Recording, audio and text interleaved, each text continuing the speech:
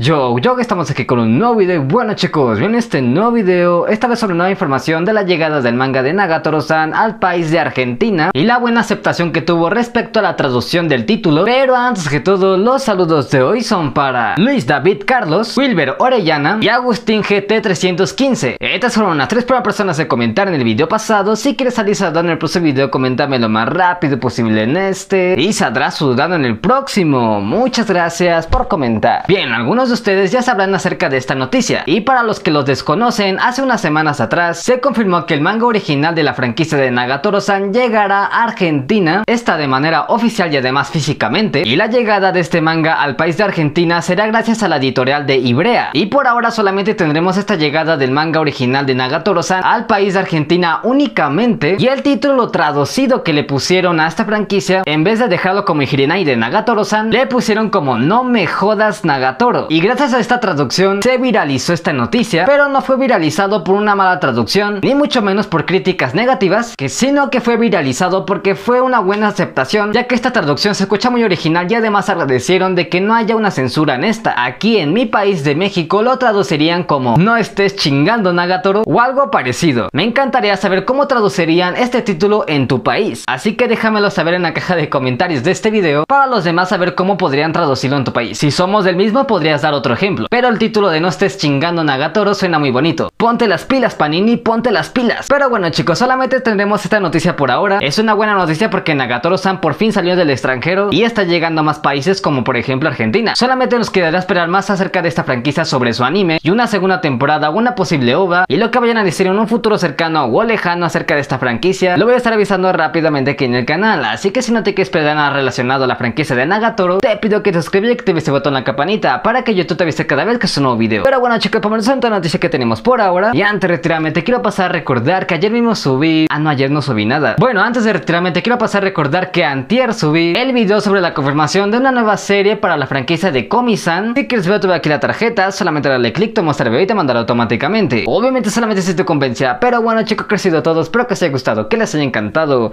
Adiós, adiós. Adiós. おやおやふよふよふえる頭ふよふよふわふわに飛び出すよふよふよふわふわふわふえる頭ふわふわふわらふわ飛び出すよおっとんごおっとんごれれの。